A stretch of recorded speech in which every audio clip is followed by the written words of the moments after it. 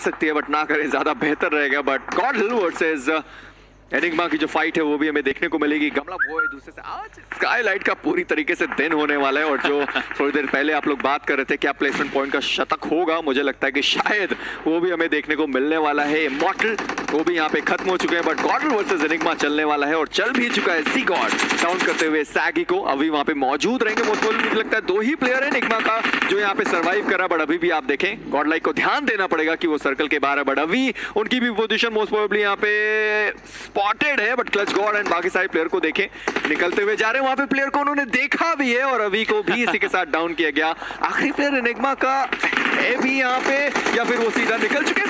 वो एक God like किस तरह से यहाँ पे रश किया जा रहा है वो देखना मैं ज़रूर चाहूँगा। पुकार अब यहाँ पे ज़रूर बचे हुए बट जिस तरह से आगे बढ़ रही है। जो अग्रेशन वो दिखा रहे हैं वो लाजवाब है।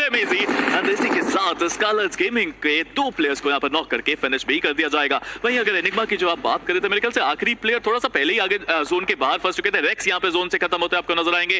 Team Enigma I still feel कि एक प्लेयर उनका कहीं ना कहीं अभी भी सर्वाइव कर रहा है। मीनवाइल स्कारलेट्स गेमिंग की बात की जाए Gamla boy is the last person standing देखिए, पिछले मैच में पुकार थे, उससे पहले मैच में सोमराज थे। अब यहाँ पे एक प्लेयर जो बचा है, वो गमला बॉय क्या क्लच आएगा? जी नहीं गॉड लाइक चारों प्लेयर एक साथ पुश करते हैं और स्कारलेट्स गेमिंग को खत्म करते हैं।